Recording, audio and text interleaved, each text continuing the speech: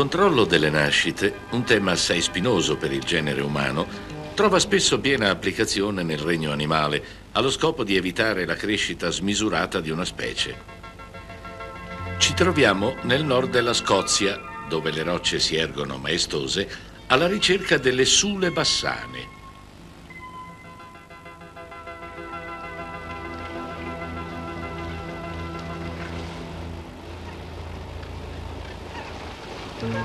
Un tunnel scavato dal mare si addentra in profondità nell'isola.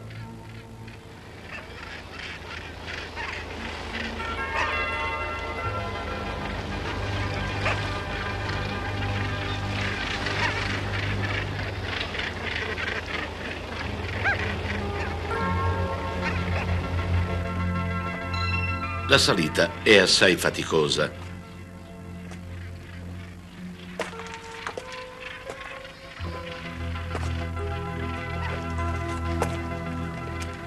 In questi luoghi non abitati, circa 1300 anni fa, viveva l'eremita Baldrid e così le autorità di Edimburgo ebbero l'idea di costruirvi una prigione per chi dovesse scontare pene religiose e politiche.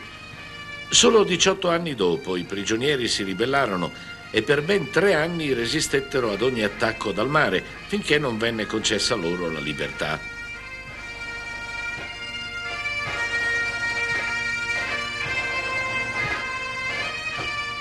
Ogni tentativo della famiglia proprietaria di quest'isola di affittarla è fallito.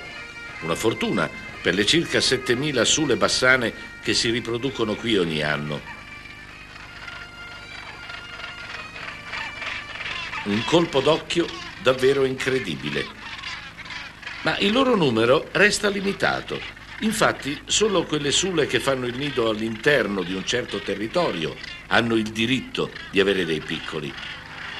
L'intera colonia è delimitata da una linea di confine ideale tracciata tra la calca e il deserto. Dobbiamo avanzare con cautela, passo dopo passo, per rassicurare le sule sulle nostre intenzioni pacifiche. Oltre il confine, solo i gabbiani nidificano. Anche le sule potrebbero farlo se volessero, ma ciò non accade.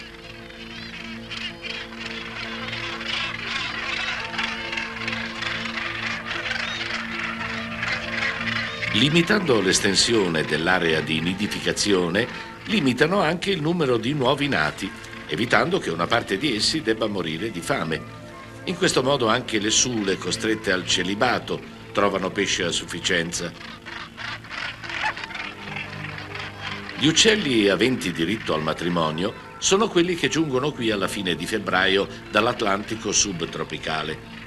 Essi occupano un nido e devono difenderlo dagli attacchi delle altre sule che volteggiano in circolo sopra la colonia.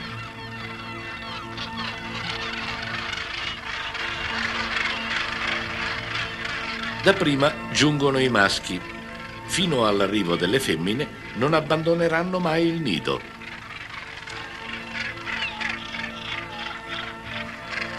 Così agli scapoli e alle nubili è riservata una sorta di loggione vicino alla colonia dove nessuno di loro farà il nido.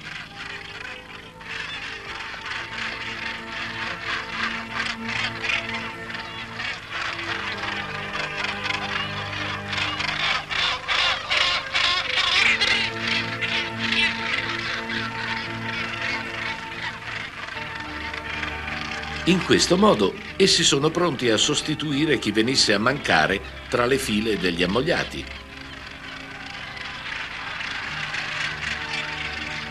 L'oculatezza delle sule nella gestione delle nascite è davvero ammirevole.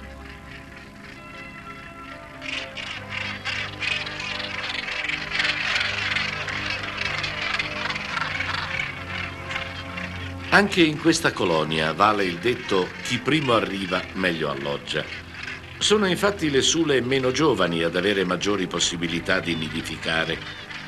Esse non si spingono così lontano come le sule di uno o due anni, riconoscibili dal piumaggio bianco e nero, che percorrono invece 3 o 4 mila chilometri giungendo oltre le Canarie. Le sule più anziane arrivano per prime poiché svernano nel canale della Manica.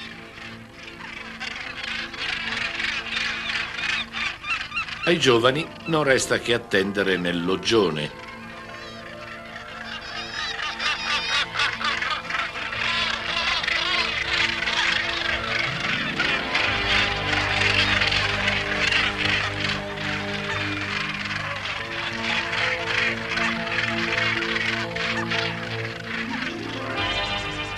Le sule bassane, grandi all'incirca come oche, sono assai irascibili. Gli scienziati ritengono addirittura che si tratti degli uccelli più rissosi del mondo animale. Ognuno attacca briga con chiunque, anche all'interno della coppia. Il maschio, non appena rientrato, aggredisce la femmina. Questa deve dimostrare di essere la legittima consorte rannicchiandosi. Il maschio alla fine la riconoscerà, soprattutto perché non reagisce alle sue aggressioni. È interessante osservare come un combattimento a colpi di becco diventi poi una schermaglia amorosa.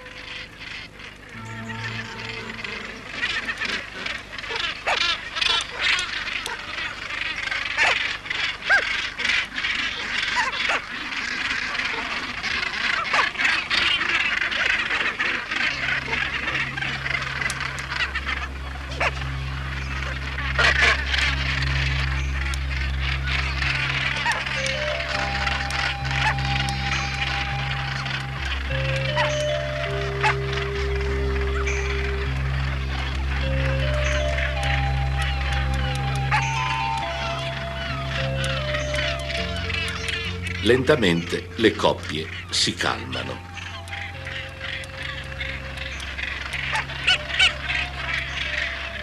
Ed eccoci giunti alla terza fase, la pulizia reciproca delle piume.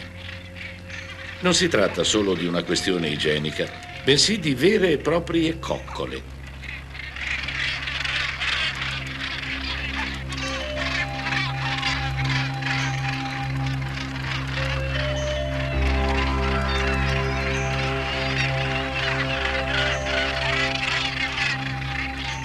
L'istinto della femmina a placare l'ira del maschio dura per tutta la vita.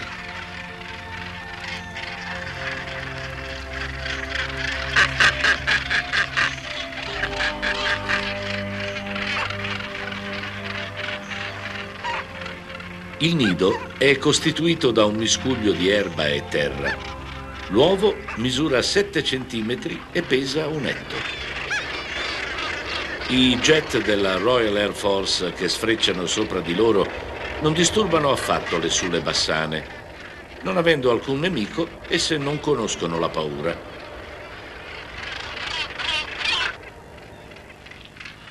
Anche se un essere umano si avvicina dopo aver dimostrato con pazienza di non avere intenzioni ostili, le sule tutt'al più si innervosiscono, ma non fuggono.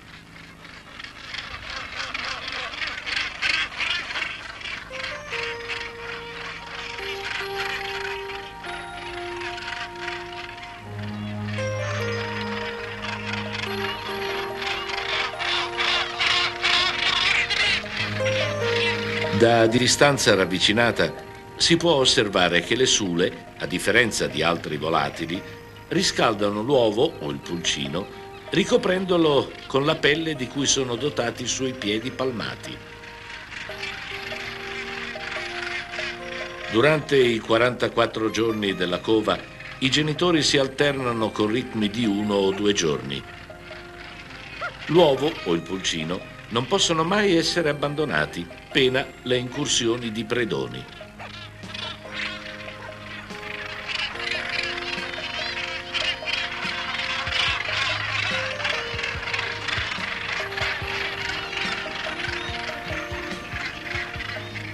Dunque un solo genitore per volta può andare alla ricerca di cibo a titolo informativo diremo che la loro tecnica consiste nel gettarsi a capofitto da 40 metri di altezza su un branco di pesci, scendendo fino a 20 metri di profondità.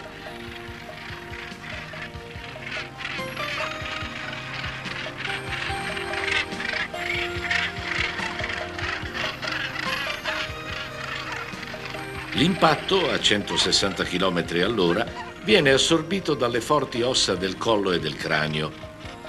Le loro prede sono aringhe e maccarelli, a volte anche polipi.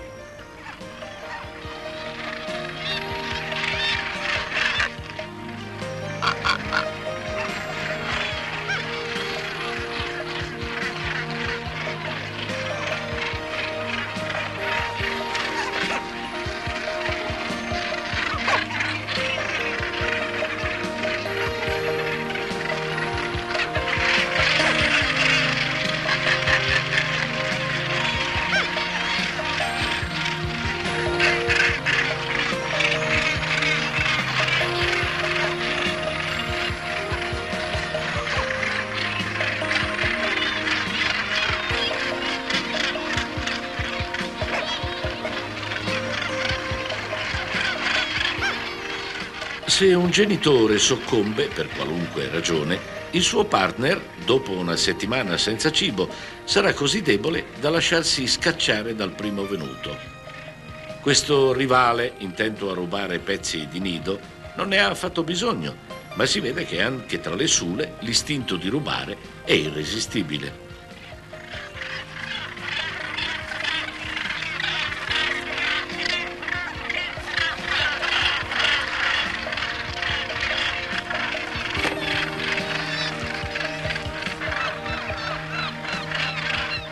Verso la fine del periodo della cova, qua e là restano nidi vuoti, ma è troppo tardi per deporre altre uova.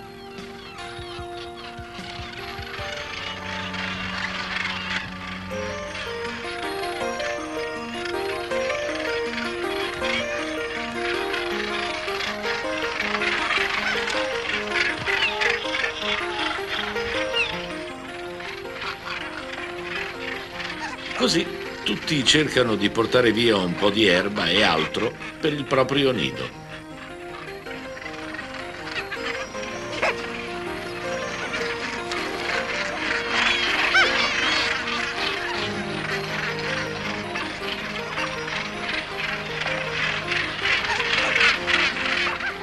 Questa difficoltà nel fare il nido è essa stessa una forte limitazione delle nascite.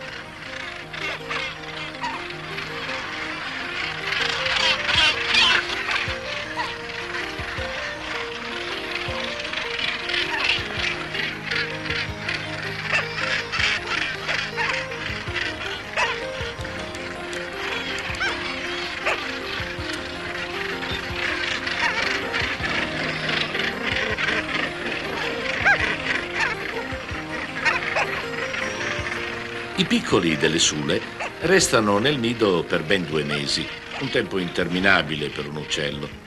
Due mesi di fatiche inenarrabili per i genitori, ricerca di cibo, guardia, cure continue, lotte con i rivali, e questo per animali tutt'altro che nati per la vita matrimoniale. Ma per amore della prole sono disposti a pagare questo prezzo.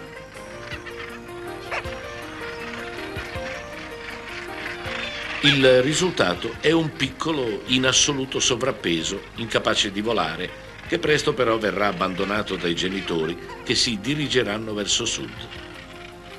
Ha inizio così la parte più dura della vita di una piccola sula bassana. Per due settimane resterà nel proprio nido a smaltire un po' di grasso, poi si lancerà dalla ripida parete e atterrerà in acqua, dove resterà altre due settimane a perdere peso fino a che non sarà in grado di spiccare nuovamente il volo e andare a pesca.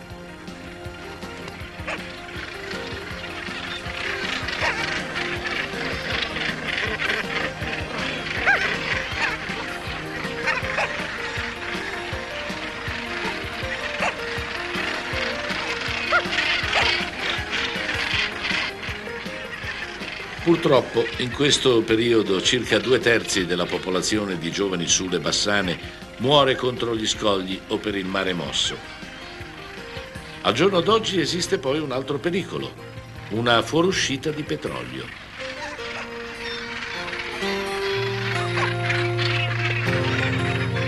Ma ritorniamo ai momenti felici passati nel nido. Un genitore deve sempre restare a fianco del suo piccolo altrimenti questo viene aggredito dal vicino. Solo quando il piccolo supera in altezza i genitori questo pericolo non si pone più. Il piccolo viene nutrito due o tre volte al giorno. Una femmina di merlo, per fare un esempio, nutre il suo piccolo 300 volte al giorno.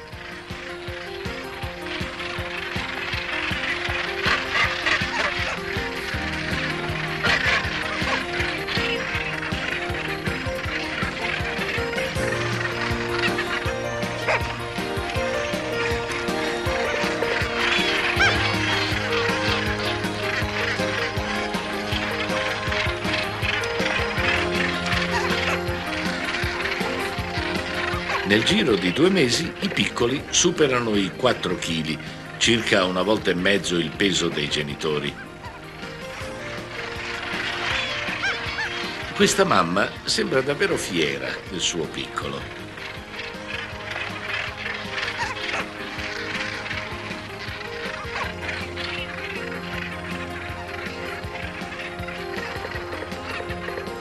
Questo poi è davvero enorme. Per fortuna non sa ancora quali dure prove lo attendono. Si tratta tuttavia del prezzo che le sule devono pagare per il fatto di non avere nemici naturali. La natura escogita sempre metodi diversi per limitare il numero di esemplari di una specie. Solo recentemente l'uomo sembra essersi accorto dell'esistenza di questa regola.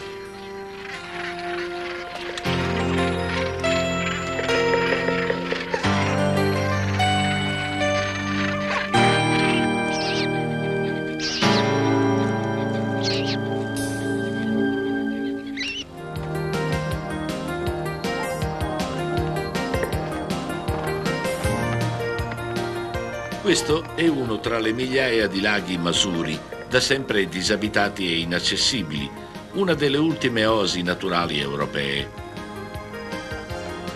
La vita è ancora stretta in una morsa di ghiaccio invernale. Solo una coppia di cigni è intenta a dimostrazioni di affetto. Il maschio e la femmina restano fedeli l'uno all'altra per tutta la vita, dall'età di due anni fino ai 60.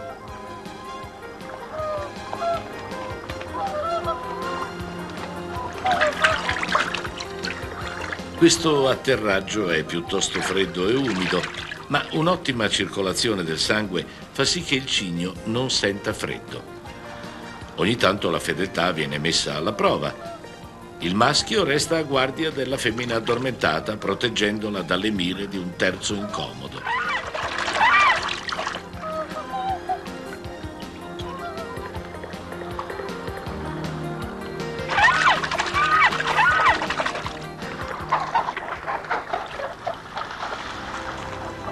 Ad eccezione di anatre e folaghe, nel mese di febbraio la zona resterà deserta. Procediamo così verso la nostra meta, mentre un'altra coppia di cigni atterra nelle acque gelide.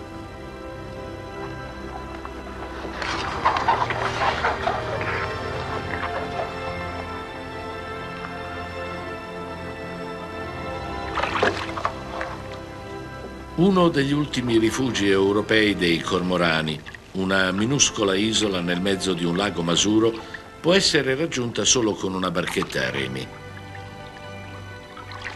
Nessun'altra specie di uccelli è stata perseguitata negli ultimi anni come il cormorano, poiché si credeva che fosse dannoso per la pesca, mentre i pesci di cui si cibano i cormorani sono per gli esseri umani inappetibili. Solo una piccola parte dello stormo è già arrivata dall'Africa, il freddo è ancora intenso le migliaia di nidi vuoti si riempiranno nei prossimi giorni. I cormorani, soprattutto in Perù e in Cile, vengono protetti per la loro forte produzione di guano. Un singolo esemplare ne produce in un anno fino a 3 kg, impiegato dagli uomini come fertilizzante. Tutto questo guano però può rivelarsi velenoso per la vegetazione. Gli alberi perdono le foglie e non sono più adatti per costruirvi il nido. L'intera colonia di cormorani si trasferisce su un'altra isola e quando anche questa sarà invivibile, faranno ritorno alla prima, nel frattempo ripresasi.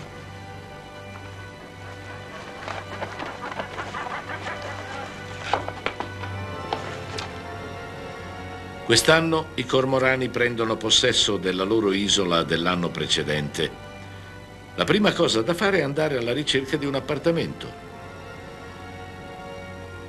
Come nelle abitazioni dell'uomo, i posti migliori sono in alto.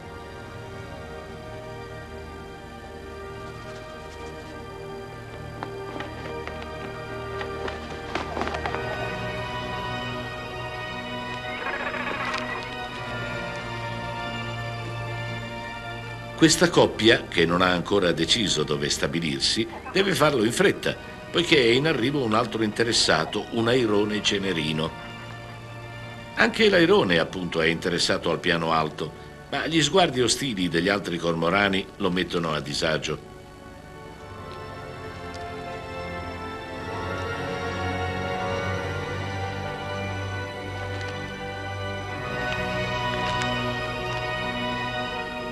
La sua indole aristocratica non gli permette di scontrarsi con chiunque e così, nonostante sia più forte e robusto, è costretto a desistere.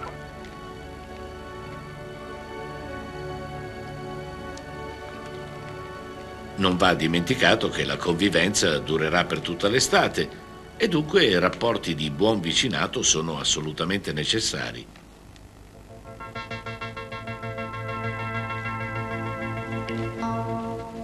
Il comportamento del maschio del cormorano nei confronti della femmina è davvero esemplare.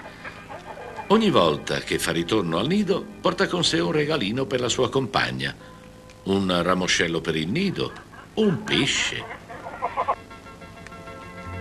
i maschi che se ne dimenticano vengono scacciati.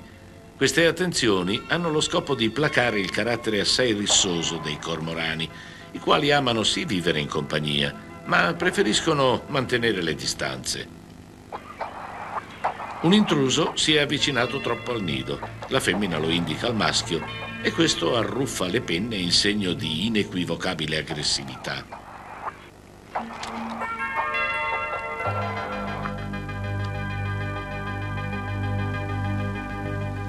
La stessa scena si ripete qualche ramo più in là ed è sempre la femmina che protende il capo per indicare al maschio l'intruso.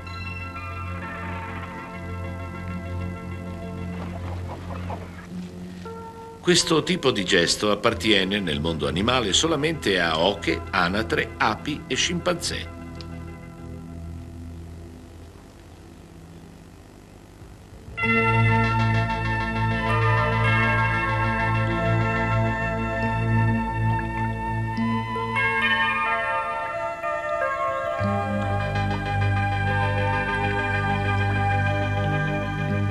Siamo ritornati in Masuria in maggio.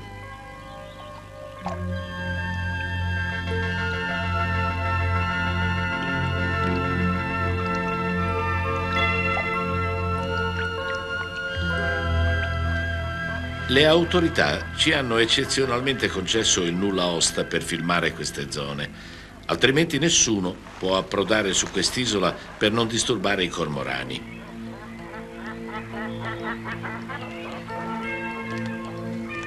Gli uccelli sono tranquillamente intenti alla cova, ma un nemico è sempre in agguato. La biscia dal collare. Questa si arrampica sugli alberi e ruba le uova dai nidi. L'airone però non la teme ed ecco il motivo per cui ai cormorani piace avere un airone come inquilino dei piani bassi.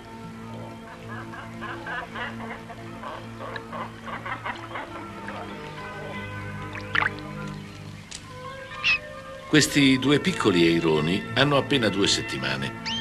I genitori li proteggono con cura, ma devono anche andare a pescare. E così quando sono da soli, i piccoli si stringono l'uno all'altro e restano buoni e zitti.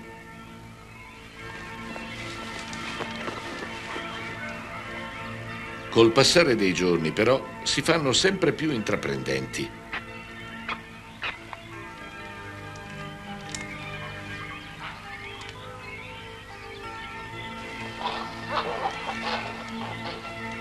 E verso le sei settimane fanno un baccano e una confusione indescrivibili.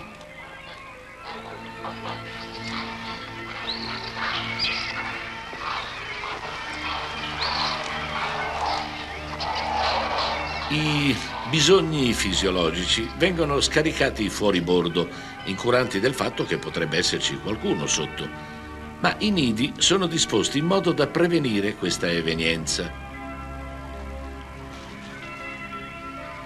Ecco un piccolo che si esercita ad assumere le posizioni degli adulti.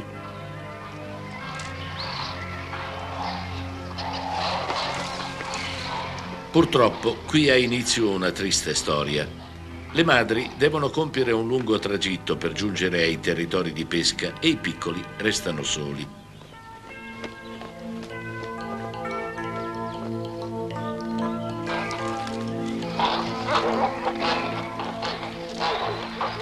Questi, sopravvalutando le loro capacità, cercano di seguire l'esempio della madre.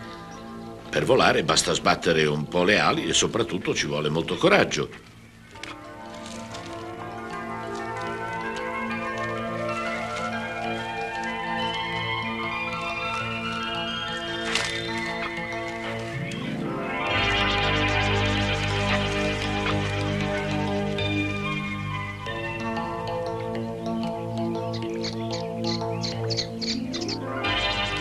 Piccolo sembra davvero deciso a tentare il suo primo volo.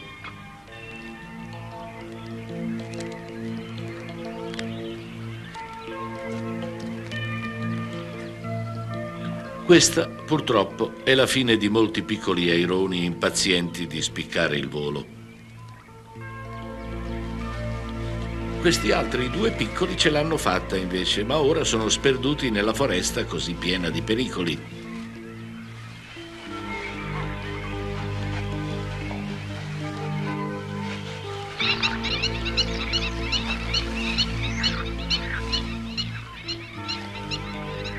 Morsi della fame sono forti e l'istinto li conduce così verso l'acqua.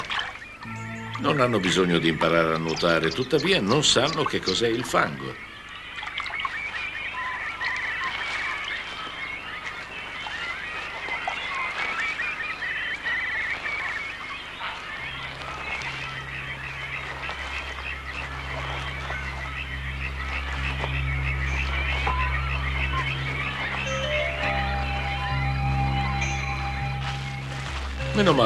Che anche gli uccelli hanno un angelo custode.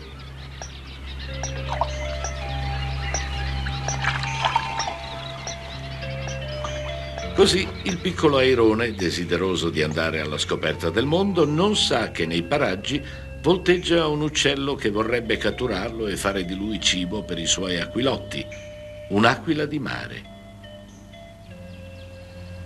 Questa ha costruito un nido di 4 metri quadrati sull'albero più alto e ora volteggia alla ricerca di prede.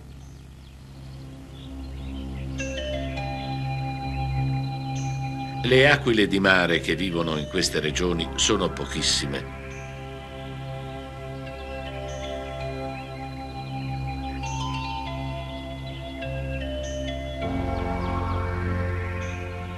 Anche se non ha catturato nulla, torna ogni tanto al proprio nido.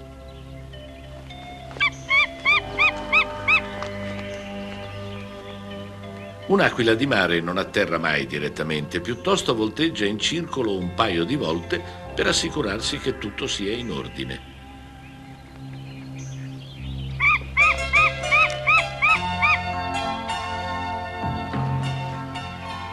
I nidi di cormorani possono essere osservati più facilmente.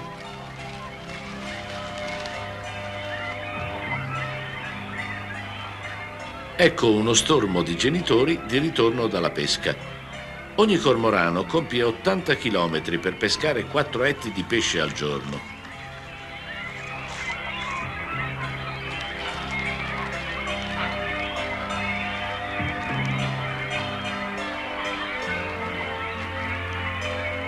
I piccoli nel nido sono sicuramente molto affamati, ma prima devono dimostrarlo ai propri genitori. Solo chi si impegna di più nel pretendere il cibo finirà con l'ottenerlo. Sarà magari il più affamato o il più intraprendente.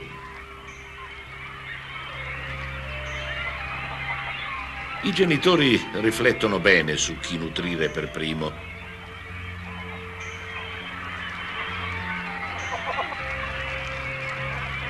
Questi piccoli becchi voraci quasi gettano la mamma dal nido. Questo battere il becco contro quello della propria madre è una rarità nel mondo degli uccelli. I piccoli aironi, ad esempio, spalancano il becco in attesa del cibo e chi è più bravo ne ottiene di più. Gli aironi conducono questa vita per sei settimane, i cormorani per tre, dalla mattina alla sera sempre a caccia di cibo per i propri piccoli. E basta un po' di sfortuna e già un piccolo muore di fame nel nido.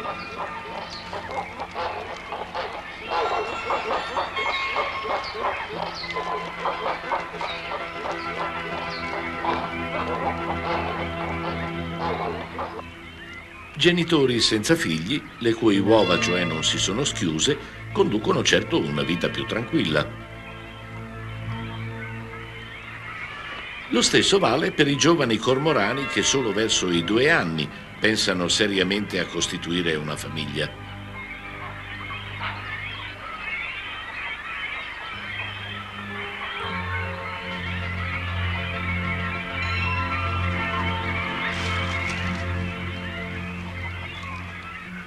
Ma torniamo alla lotta per il cibo nel nido. La madre è davvero indecisa. Essa vomiterà il cibo predigerito nel becco di chi sa meglio farsi valere.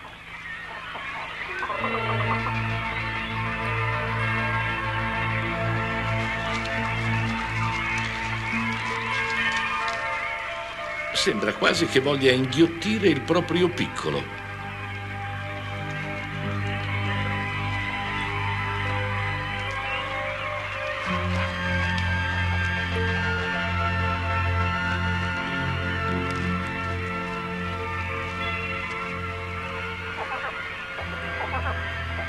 Dopo questa faticata il piccolo ha difficoltà a raddrizzare il collo e anche la madre deve riprendersi.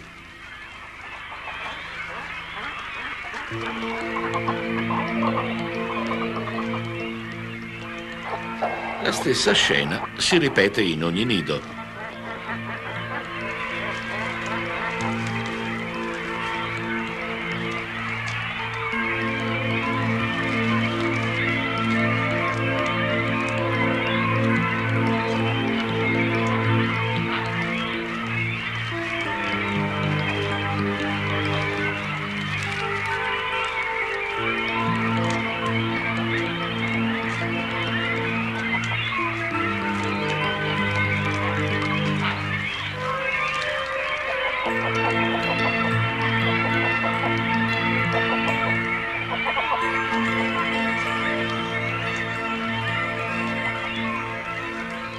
La natura ha fatto sì che la sopravvivenza sia possibile solo a prezzo di immensa fatica.